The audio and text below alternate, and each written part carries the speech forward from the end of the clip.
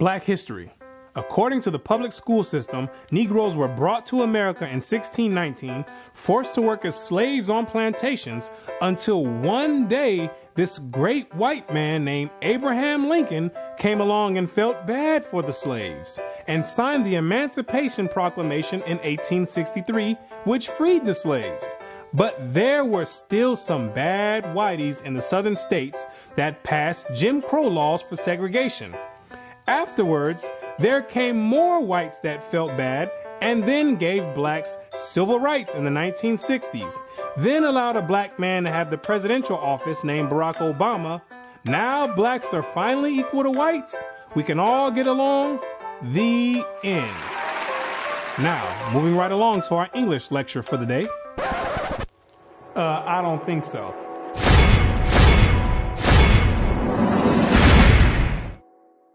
Black history. What do you know about black history? Let me ask you a question. Prior to the transatlantic slave trade in the 1600s, what was your nationality? What did you call yourself? Some may say African. Well, Africa is a continent, and in that continent, there's over 47 different countries in there. Which one do you come from? What language did you speak prior to the 1600s? Was it English? There's over 1,500 dialects being spoken in the land of Africa. Pick one. What clothing did you wear? Was it high heels and stilettos? Skinny jeans and vans? What food did you eat?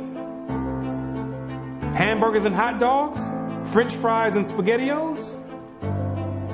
What religion did you partake in? Who was your God? Was it Christianity and Cesare Borgia? Most of you have no idea about the answer to these questions.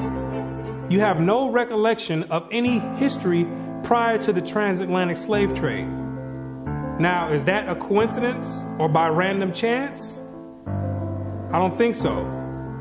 Have you ever asked yourself, why is it that in the public school system that every time the subject of black history is taught, it always begins in the 1600s and with slavery?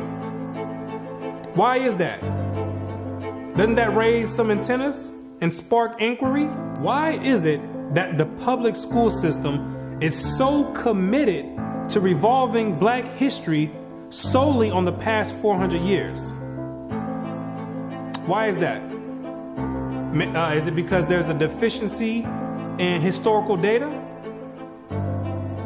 Or maybe because there's no history at all prior to the 1600s. Maybe black people just poofed out of thin air sporadically, landed on slave ships, and they said, hey, we got a new species here and start importing and exporting them all over the world. Maybe that's what happened. The question arises what is the drawback on this history? Why does it keep being withheld? What's the big idea about it? Why is it being held hostage? That's the question.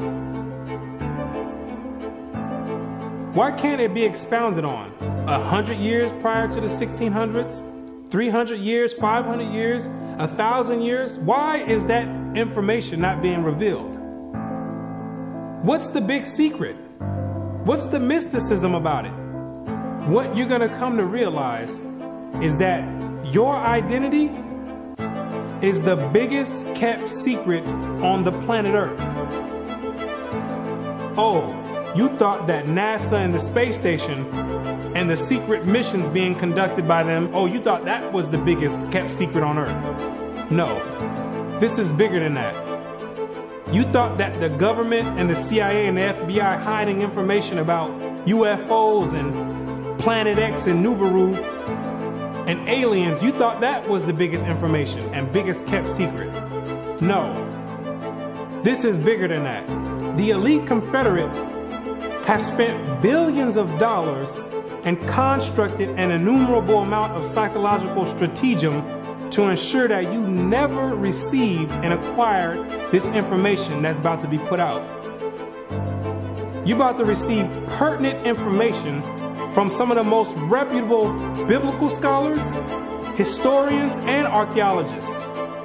And they all know something that you don't know. And that's your identity. Ham, the youngest son of Noah, born probably about 96 years before the flood, and one of eight persons to live through the flood. He became the progenitor of the dark races, not the Negroes, but the Egyptians, Ethiopians, Libyans, and Canaanites. Wait, the churches and the pastors, which are set up by the government, all teach in unison a doctrine that all black people come from the seed of Ham. But once you open up scholastic sources, you'll find out that the biblical scholars say something totally different from what's taught in Orthodox Christianity. What do they mean by Ham is the father of the dark races but not the Negroes?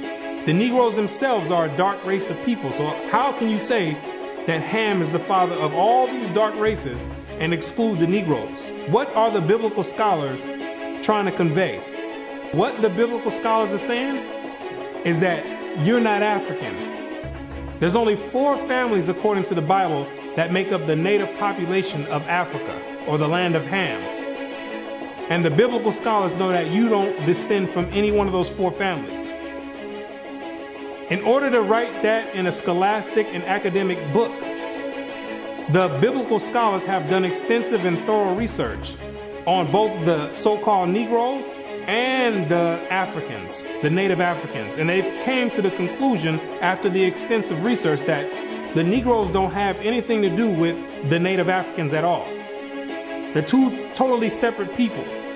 In the 1840s, Morton collaborated with George R. Gliddon, an Egyptologist, who provided him with mummy heads and information about the racial significance of Egyptian tomb inscriptions. In Crania Aegyptiaca, published in 1844, Morton pointed out that both cranial and archaeological evidence showed that the Egyptians were not Negroes. In 1840, Dr. Morton was trying to find out the racial origin of the so called Negroes that were in America in slavery.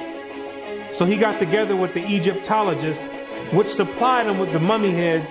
And what he did was conduct an extensive research on the cranial remains of the, uh, the heads in Egypt, uh, in contrast to the cranial remains of the heads in America.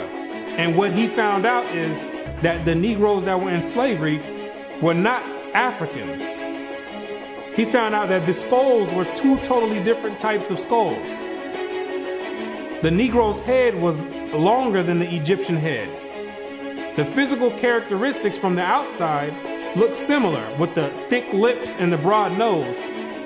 But once you start delving into the, the real characteristics, he found out that there were two totally different people, as abolitionists and colonizationists had maintained, and that in fact, blacks had been relegated to the same servile position in ancient Egypt as in modern America. But what Dr. Morton did discover is that the Negroes that were serving slavery in America served the same position and servitude in ancient Egypt.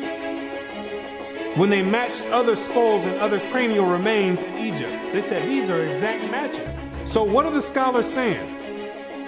what you're going to find out is that they're saying that you are the biblical Israelites. Yes, you're the same exact people that served slavery in the land of Egypt. You're the same exact people that God sent Moses to go redeem under the hand of Pharaoh. You're the same exact people.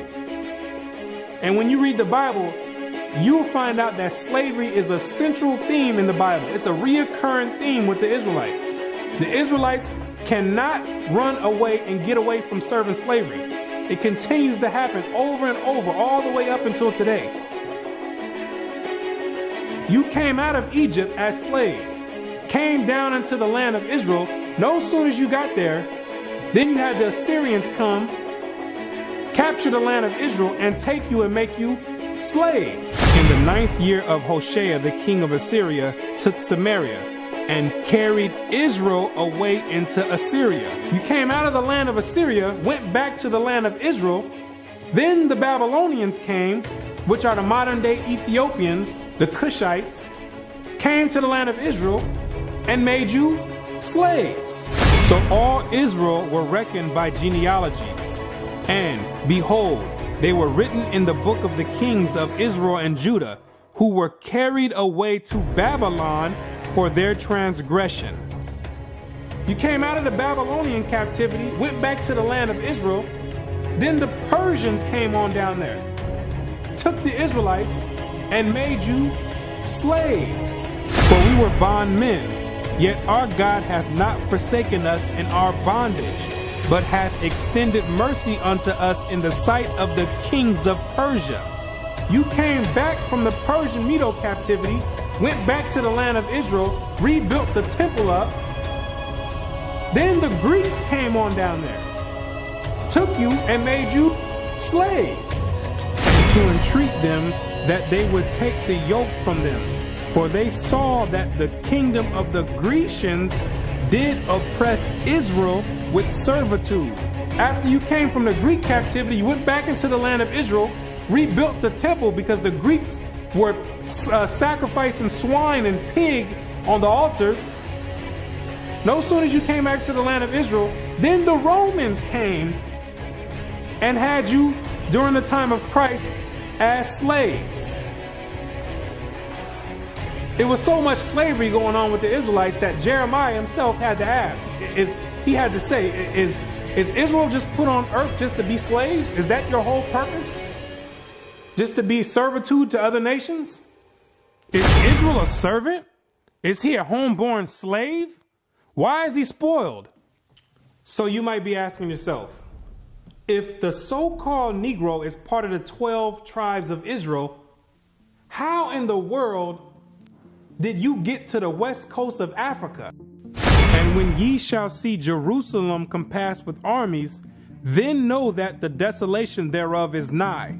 This is Christ right here speaking to the Israelites. He says, When you see Jerusalem compassed or surrounded by the Roman armies, then know that the desolation or the destruction of the land of Israel is getting ready to happen. The Romans getting ready to come in here and tear some stuff up.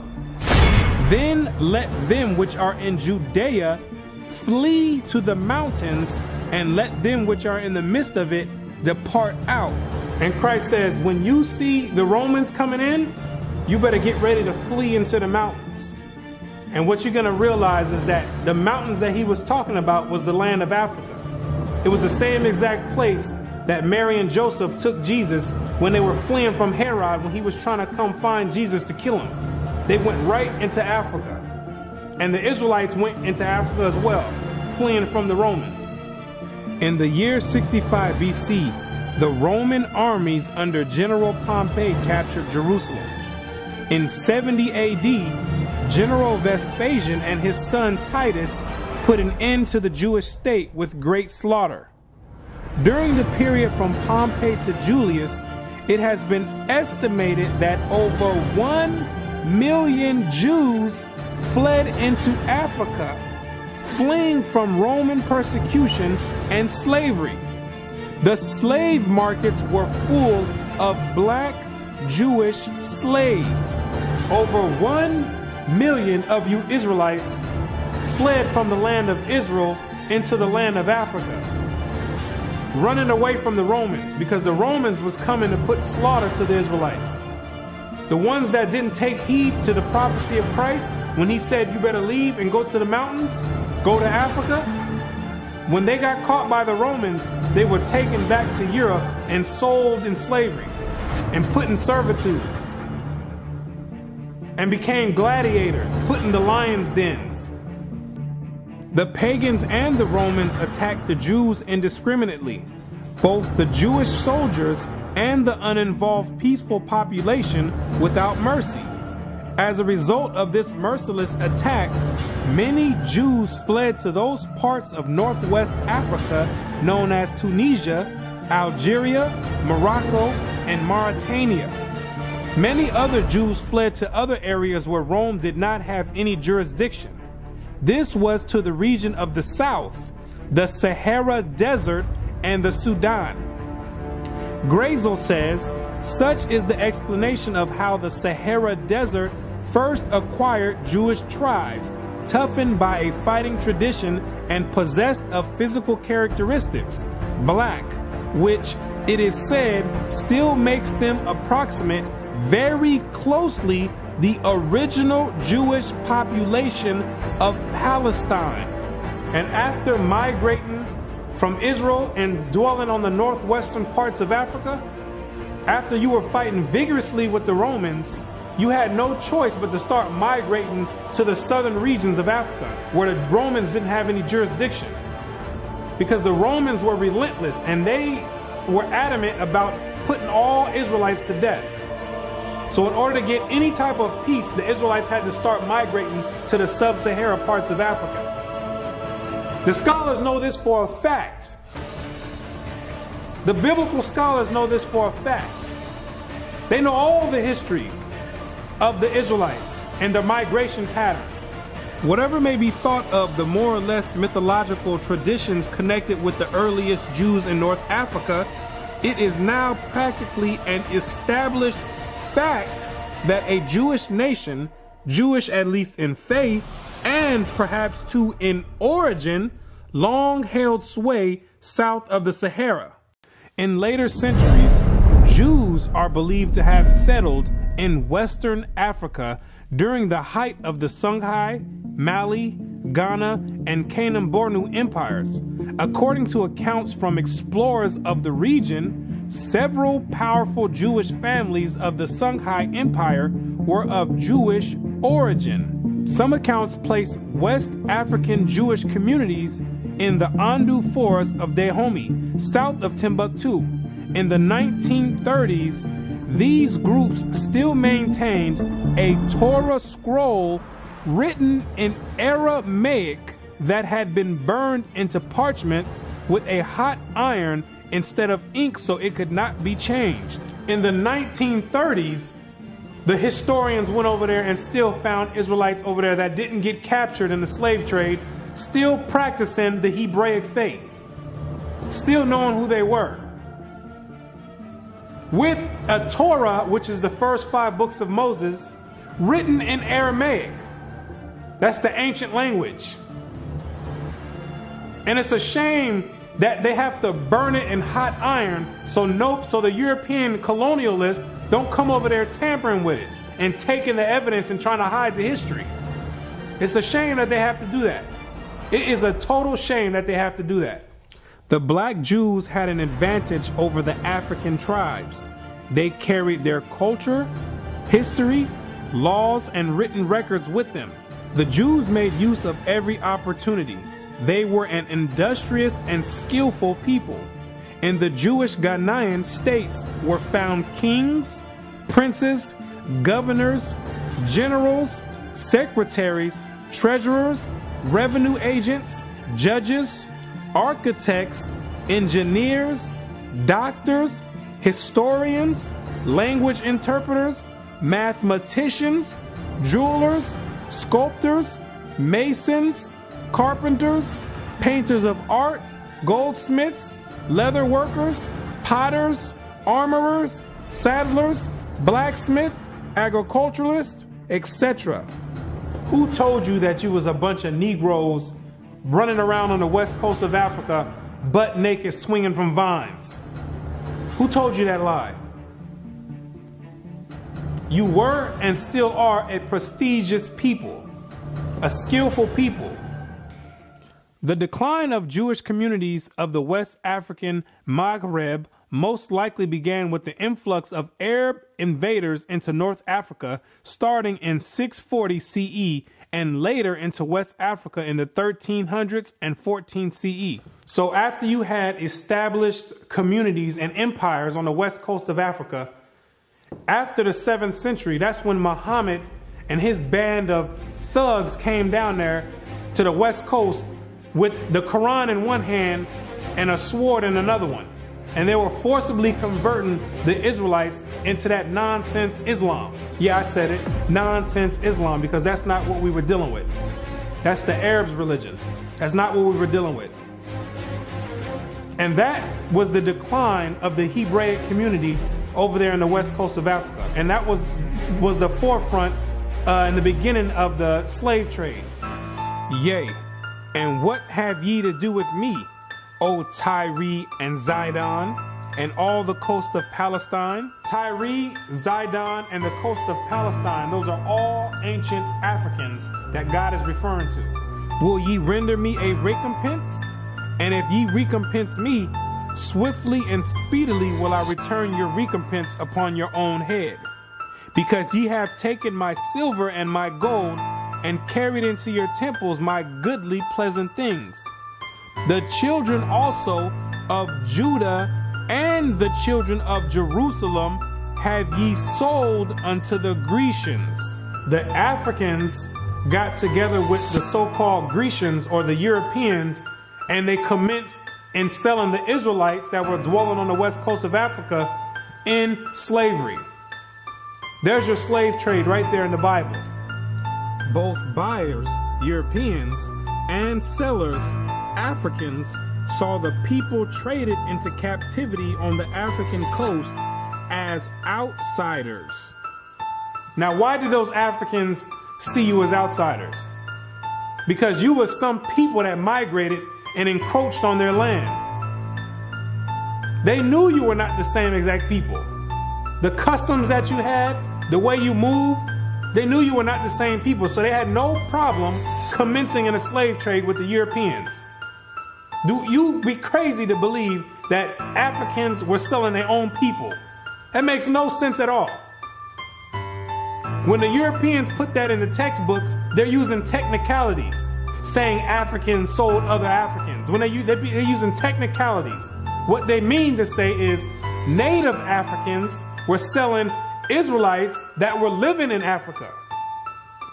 It'd be no different if somebody wrote history of 500 years from now and say there was a, a slave trade that happened here in America. Say black people got together and start selling white people to the Chinese. If somebody with the same mindset that the Europeans have wrote history 500 years from now, they would say Americans were selling other Americans to the Chinese. When in, it's two totally different nation, nation of people living in America. You can't just say Americans sold other Americans. Two totally different people. It's the same exact scenario on the west coast of Africa. There are both oral and written explanations that trace the origin of the Igbo. And the most tantalizing is an association of the Igbo to the Hebrew race. This assumption is based on the fact that Igbo culture has many similar traditional customs like that of the Jews. Similar customs are observed in marriage negotiations, childbirth and circumcision, restitution, attitude to totem animals, and taboos, as well as hospitality to others, especially to strangers etc. The Ibo are therefore said to be the split and lost group or tribe of Israel that refused to wander further northeast with Moses but preferred going down southward. The Igbo people have many Jewish traditions. Noam Katz, the current Israeli ambassador in Nigeria, and others point to their possible ancient Israelite origins. See, the scholars, they've done their research on the Igbo tribe, extensive research. And they've compared the traditions of the Igbo tribe and they've matched them up to the biblical traditions of the Israelites. And they said, whoa, these are strikingly similar. The only way that these people could be could be practicing the Hebraic faith this close is if they were the biblical Israelites themselves. So you may ask yourself, what is the significance of the Igbo tribe to the so called Negro in the Americas? When you do the research, what you're going to find out is that the Igbo tribe is one of the main sought out tribes that were captured and sold in the transatlantic slave trade and came right here to America. The British were the major buyers before they banned their own slave traffic in 1807.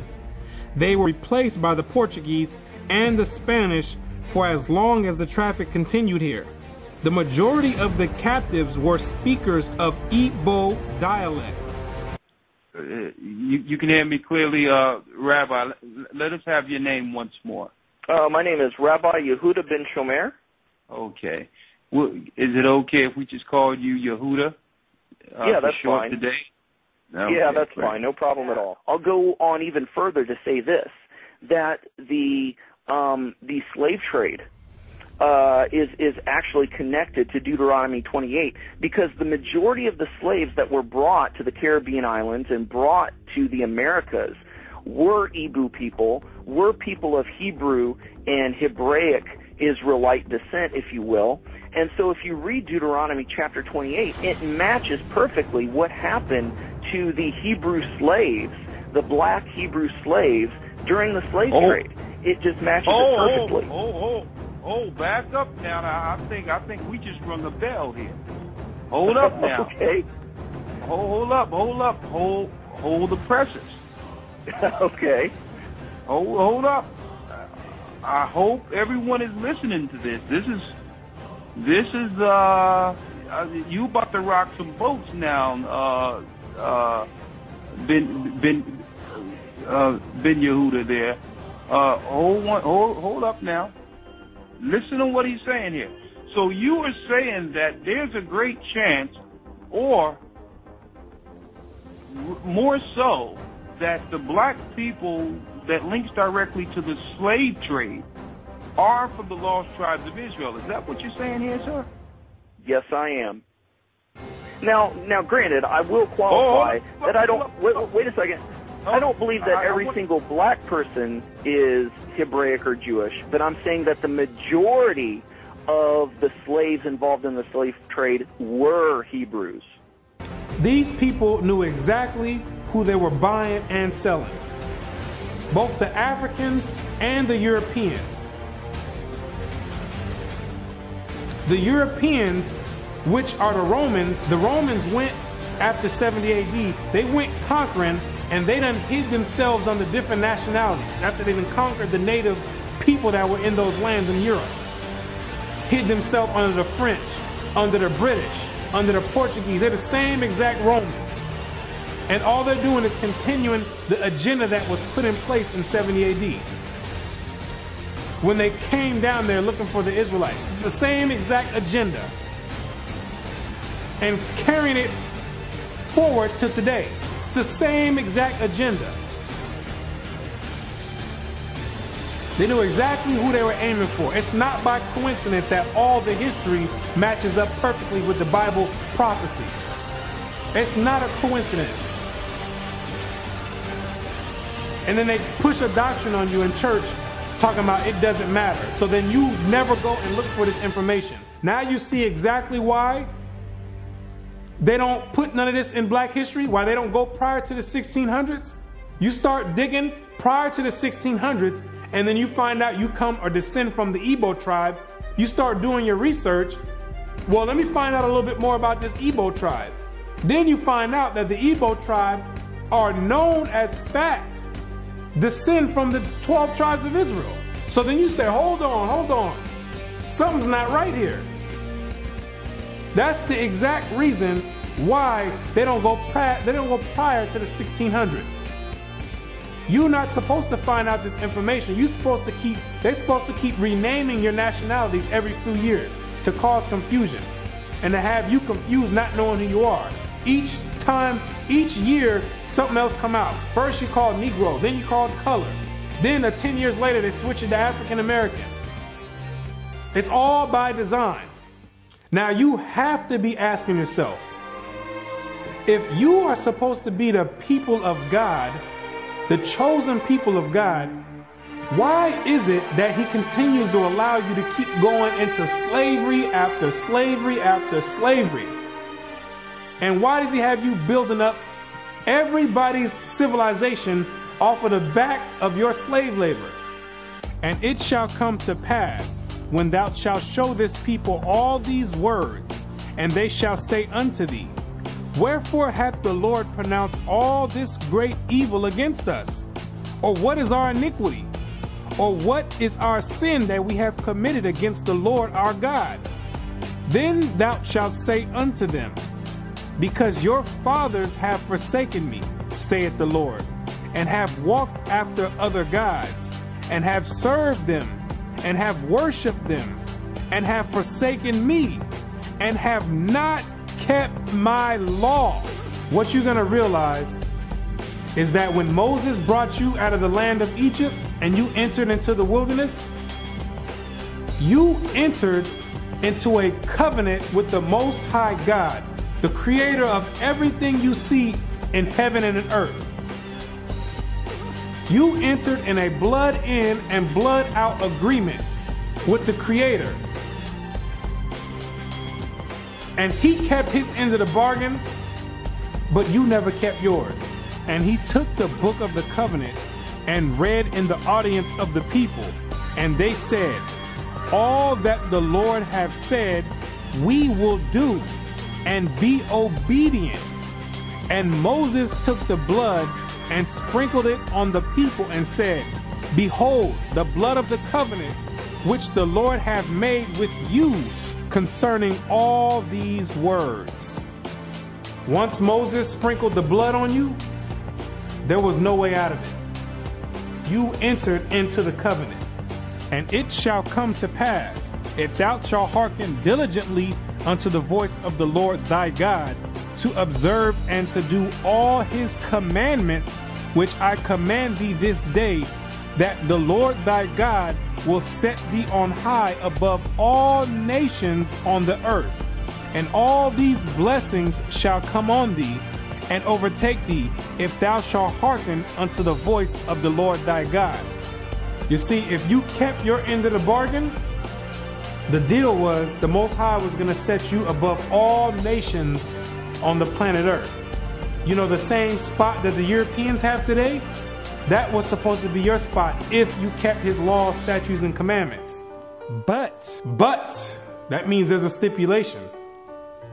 There's two sides of the bargain. It shall come to pass if thou wilt not hearken unto the voice of the Lord thy God, to observe to do all his commandments and his statutes which I command thee this day, that all these curses shall come upon thee and overtake thee. Thy sons and thy daughters shall be given unto another people, and thine eyes shall look and fail with longing for them all the day long, and there shall be no might in thine hand. Thou shalt beget sons and daughters, but thou shalt not enjoy them, for they shall go into captivity. The stranger that is within thee shall get up above thee very high, and thou shalt come down very low. Moreover, all these curses shall come upon thee, and shall pursue thee, and overtake thee, till thou be destroyed, because thou hearkenest not unto the voice of the Lord thy God, to keep his commandments and his statutes which he commanded thee, and they shall be upon thee for a sign and for a wonder, and upon thy seed forever, because thou servest not the Lord thy God with joyfulness and with gladness of heart for the abundance of all things. Therefore shalt thou serve thine enemies, which the Lord shall send against thee, in hunger and in thirst and in nakedness and in want of all things. And he shall put a yoke of iron upon thy neck until he have destroyed thee.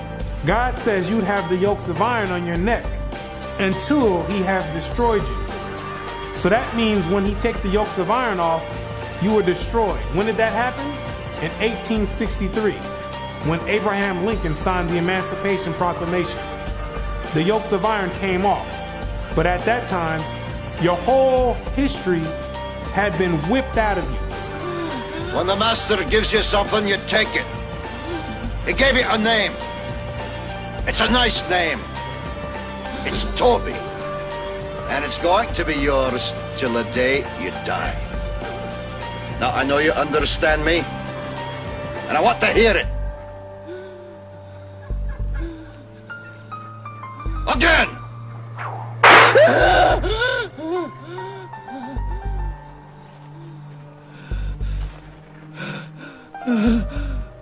Want to hear you say your name. Your name is Toby. What's your name? Kunta.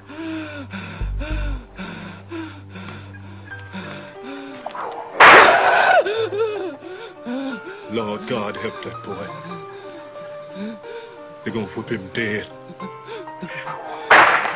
What's your name? Say it. Toby. Who are you? Say your name.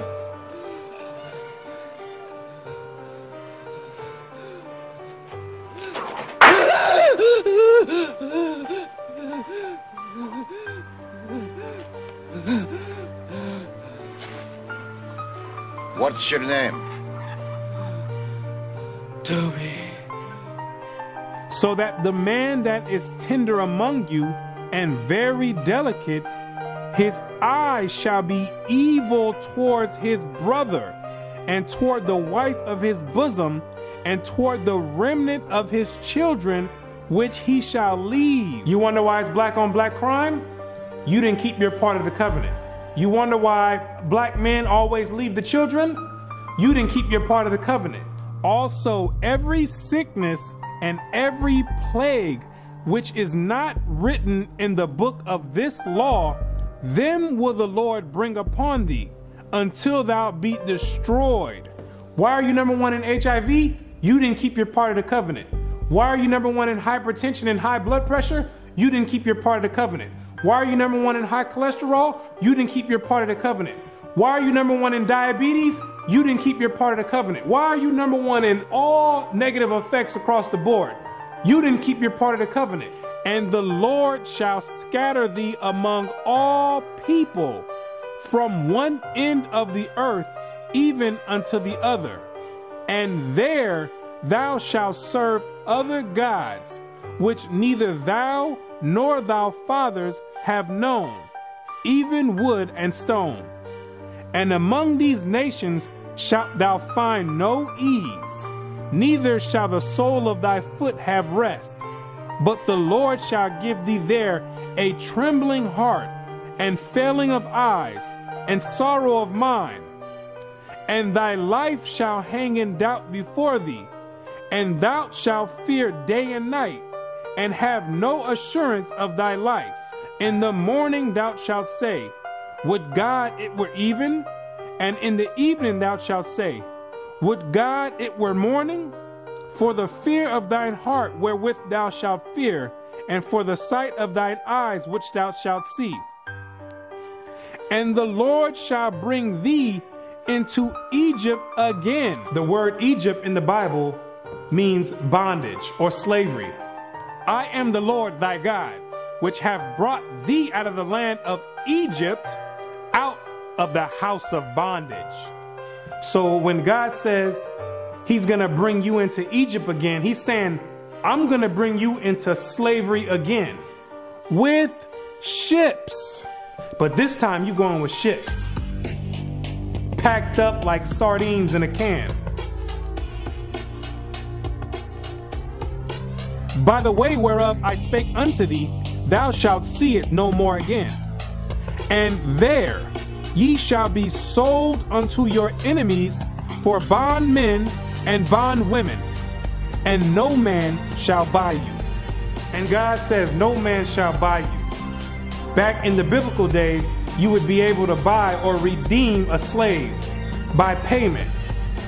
But God says, No man is going to be able to redeem you out of this slavery. This last one I bring you to, this last Egypt, nobody's going to get you out of it. Marcus Garvey tried to get you out of it, didn't work. Martin Luther King tried to get you out of it, didn't work. Malcolm X tried to get you out of it, didn't work. Louis Farrakhan tried to get you out of it, didn't work. Al Sharpton tried to get you out of it, didn't work. Why? Because you are still breaking the covenant.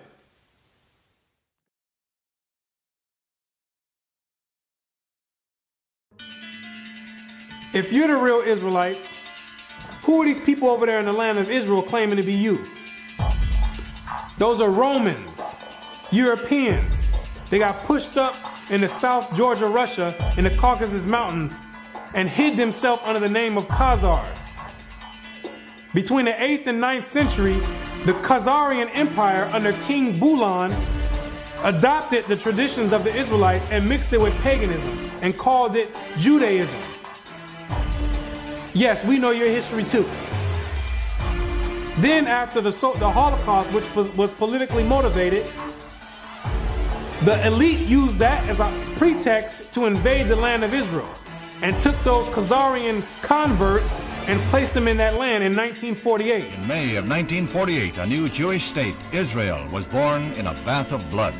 Jewish troops routed Arab forces from the city of Haifa in the first of a series of battles that were to reverberate through the years.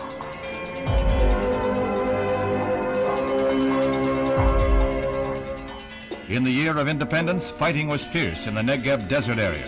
Here, Israeli troops routed the Arabs and took hundreds of prisoners. Meanwhile, on May 14, 1948, the new government headed by David Ben-Gurion is installed in Tel Aviv. Thus, for the first time since the Roman legion destroyed Jerusalem in the year 70 AD, the Jewish people have a nation of their own. United Nations teams accompany Israeli soldiers under the white flag to retrieve the bodies of soldiers killed in the continuing strife with Arab troops. The UN was able to effect some uneasy pacts calling for a truce, but skirmishes continued to break out. Dr. Chaim Weizmann joined Premier Ben-Gurion in the government. The Jewish patriot became president as Israel went before the United Nations to seek a place in that world body.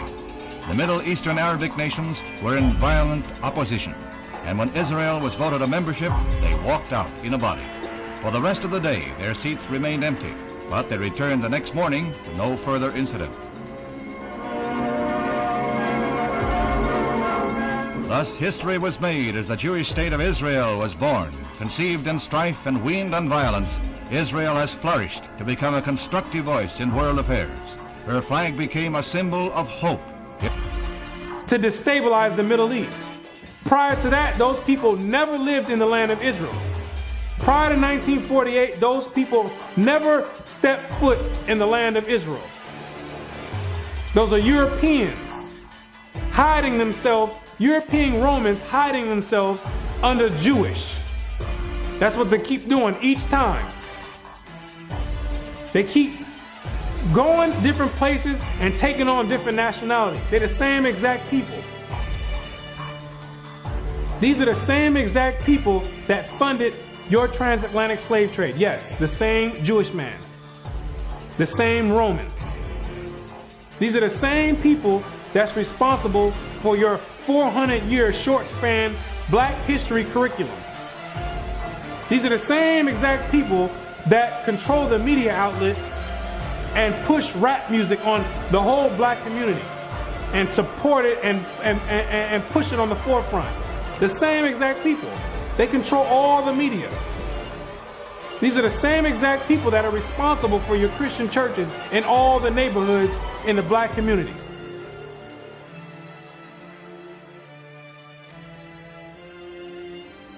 The Bible says when the real Jews get in the land of Israel, there will be no more war. Since those converts, Khazarian converts, went into the land, it's only been war. They don't fit the prophecies. They over there dealing with Satan. I know thy works and tribulation and poverty, but thou art rich. And I know the blasphemy of them which say they are Jews and are not, but are the synagogue of Satan, using the Babylonian Talmud as their authoritative uh, source.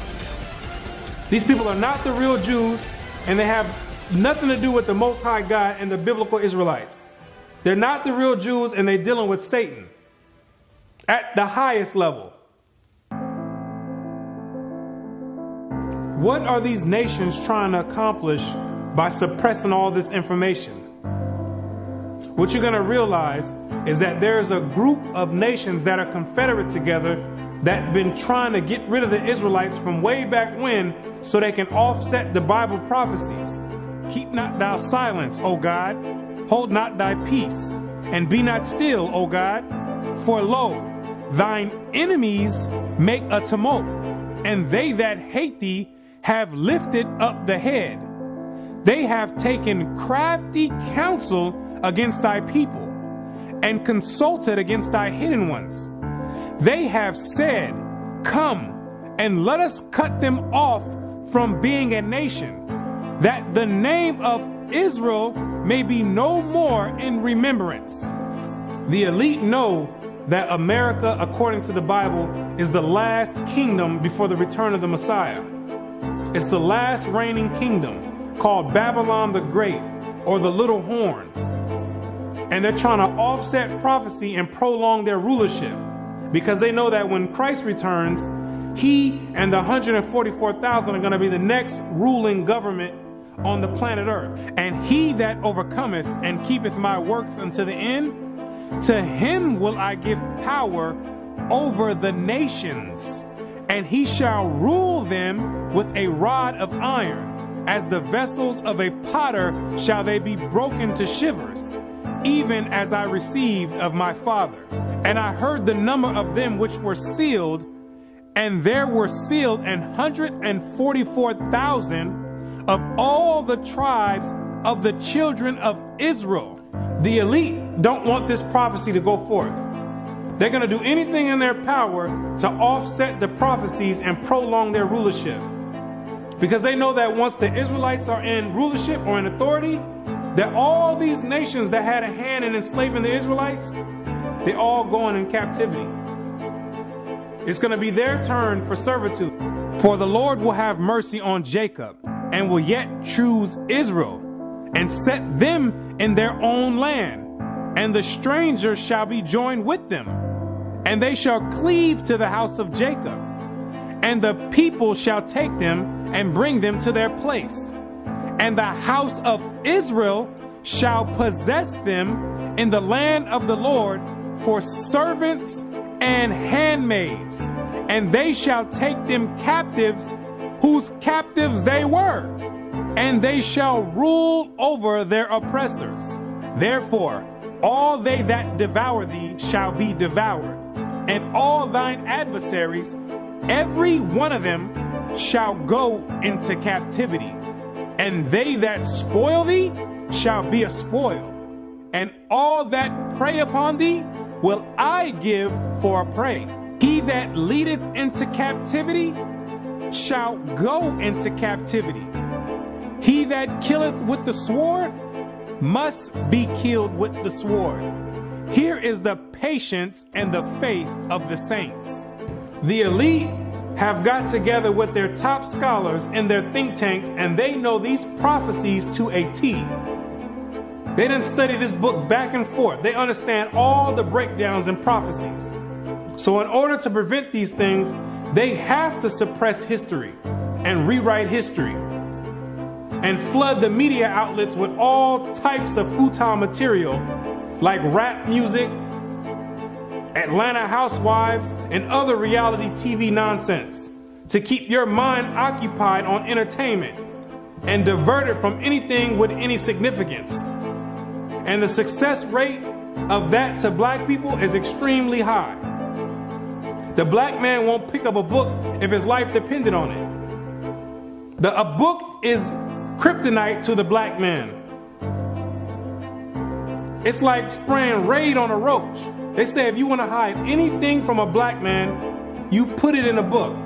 But despite these efforts of trying to offset prophecy, there's Israelites waking up all over the world by the thousands, coming up out of sleep and getting rid of these Gentile gods and coming back to the Most High God, the creator of heaven and earth, and keeping their end of the bargain. For the children of Israel shall abide many days without a king, and without a prince, and without a sacrifice, and without an image, and without an ephod, and without a teraphim.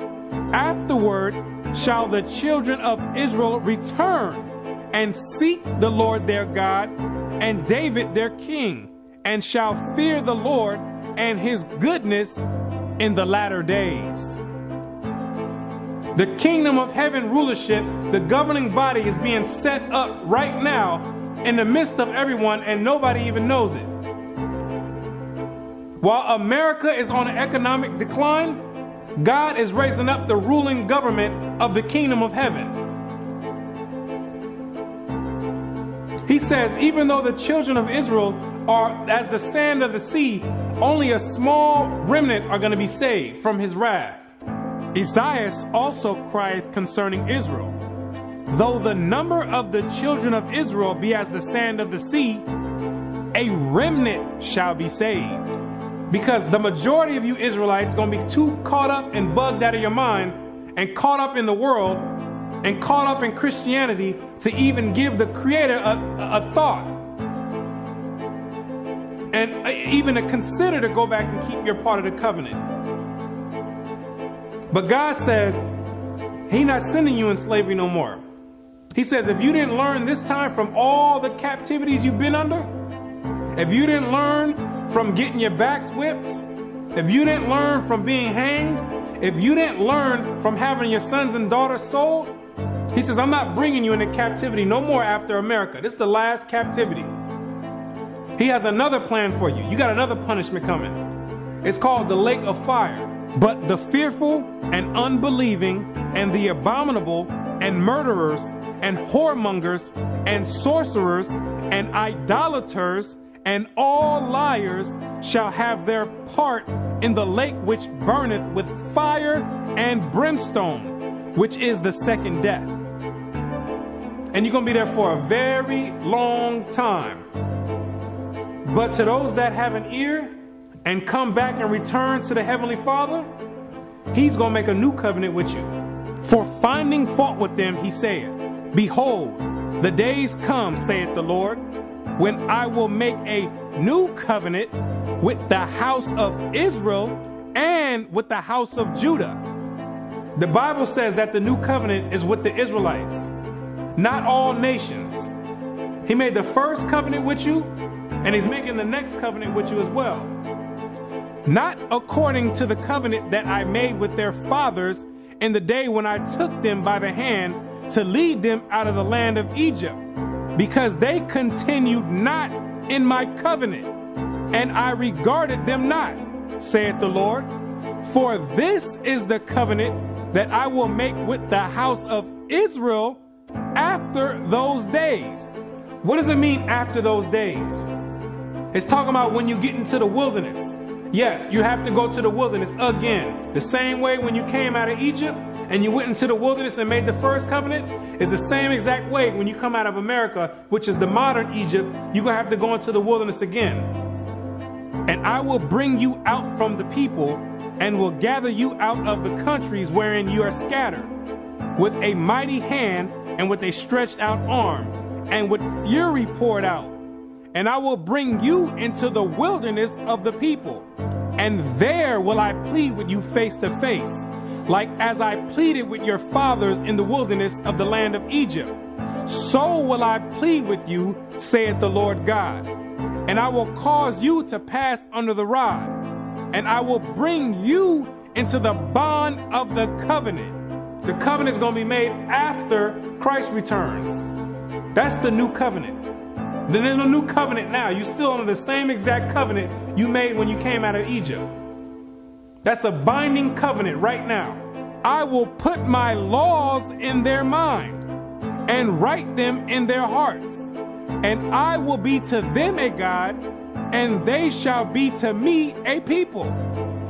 And God says He's going to put His laws in your mind. Yes, those same laws that your Christian church teachers are done away with, those are the laws that are going to govern the kingdom of heaven. The same way America has their laws that govern America, the laws written in the Bible in the first five books of Moses, those are the laws that's going to govern the kingdom of heaven. Those are the same exact laws that you promised and made a pact with the Most High saying that you would keep, and you refuse to keep to this day. That this is a rebellious people, lying children, children that will not hear the law of the Lord, which say unto the seers, See not, and to the prophets, prophesy not unto us right things, speak unto us smooth things prophesy deceits. Yet the number of the children of Israel shall be as the sand of the sea, which cannot be measured nor numbered.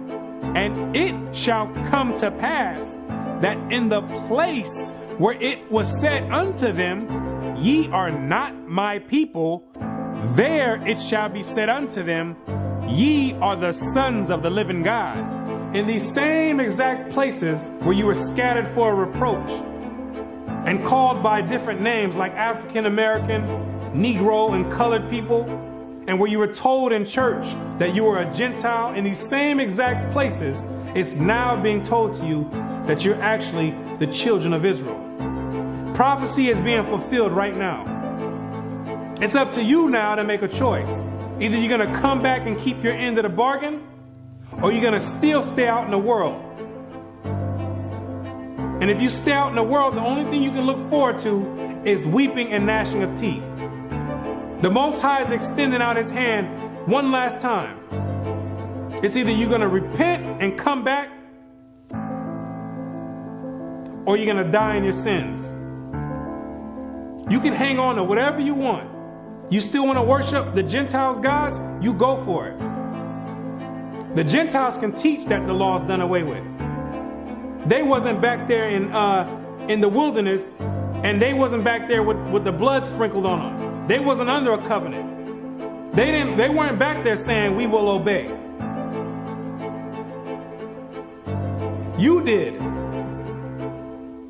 The Most High never gave them no laws to keep, but He gave it to you. He showeth His word unto Jacob his statutes and his judgments unto Israel.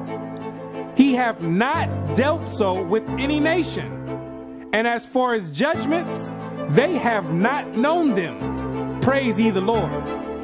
So there's no punishment for them not keeping the laws.